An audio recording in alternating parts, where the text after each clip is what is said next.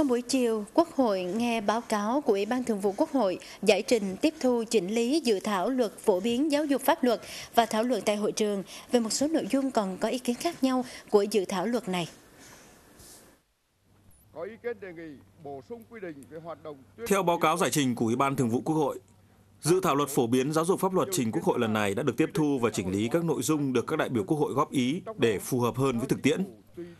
Việc bổ sung chỉnh sửa những nội dung liên quan đến quy định phổ biến giáo dục pháp luật trong nhà trường phù hợp hơn với từng cấp học, từ mầm non trở lên,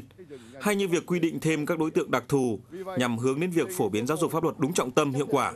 là những nội dung nhận được nhiều ý kiến đồng tình ủng hộ. Một số ý kiến cho rằng sớm ban hành luật giáo dục phổ biến pháp luật là cần thiết bởi việc hiểu và chấp hành luật hiện nay đang còn nhiều khoảng trống. Tuy nhiên, một số ý kiến cho rằng không ít quy định trong dự thảo luật còn một chiều, chung chung và chưa đột phá, bởi những điều khoản quy định trong dự thảo luật thực ra là những việc đã và đang được triển khai trong thực tế nhưng chưa đạt hiệu quả. Có ý kiến đề nghị dự thảo luật cần quy định rõ hơn trách nhiệm của các cơ quan, tổ chức cá nhân về kết quả sau khi tuyên truyền phổ biến pháp luật.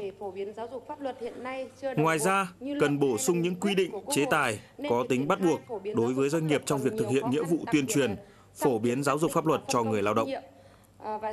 Một số đại biểu cũng phản ánh tình trạng nhờn luật, chấp nhận nộp phạt để được việc như hiện nay